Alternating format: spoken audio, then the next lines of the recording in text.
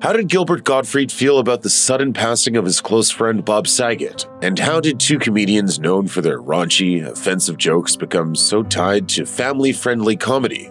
This is the story of Gilbert Gottfried's friendship with Bob Saget. In January 2022, comedian Gilbert Gottfried told ET about the moment he heard that his dear friend and colleague Bob Saget had died. The comedian relayed, I thought it was a sick joke. I'm holding the phone and then I'm still waiting for the punchline. And then that didn't come. And now I feel like it's a day later. I'm still waiting. Saget, the comedian and actor who played one of TV's most beloved sitcom dads, was found dead in an Orlando, Florida hotel room on January 9th, 2022. According to page 6, Gottfried was such good friends with Saget that the two spoke just days before Saget's death, and he saw no signs that his fellow comic would soon pass away. He heard nothing out of the ordinary from Saget. He was the same guy he had known for years. To Gottfried, their last chat was just their typical banter filled with crude jokes and nothing taken seriously. Most of the world got to know Bob Saget via his role as the warm hearted widower Danny Tanner on the wildly popular sitcom Full House, or the affable longtime host of America's Funniest Home Videos. So when Saget told his absolutely raunchy version of a classic comedian's joke for the documentary film The Aristocrats, some fans were appalled that such filth could flow from his mouth. But people like Gottfried, Norm Macdonald, and other comedians who knew Saget personally were well aware that his jokes often pushed the boundaries of propriety and even made some people uncomfortable. Gottfried told ET, No one who knew him was the least bit surprised.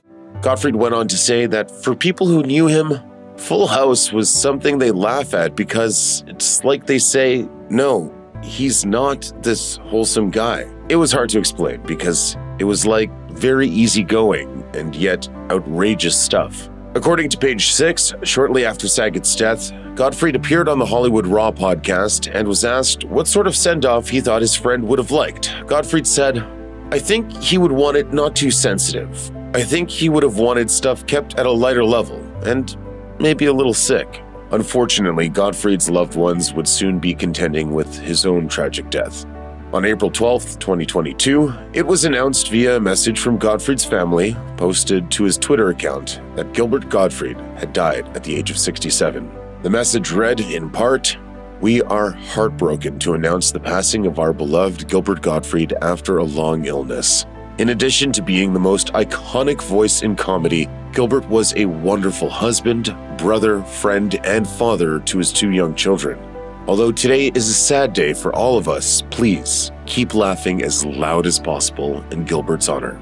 The legendary comedian's death shocked friends, fans, and acquaintances alike. Actor and Seinfeld star Jason Alexander tweeted his sympathies, saying, Gilbert Gottfried made me laugh at times when laughter did not come easily. What a gift. I did not know him well, but I loved what he shared with me, my best wishes and sympathies to his family.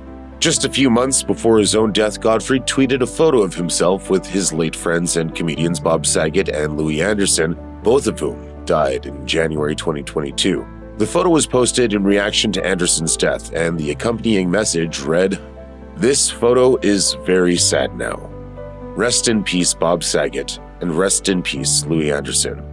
Both good friends that will be missed.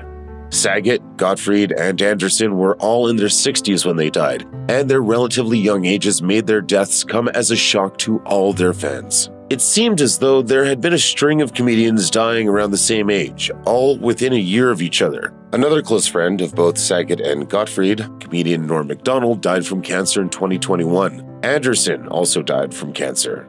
Our hearts go out to the loved ones of all of these comedy legends.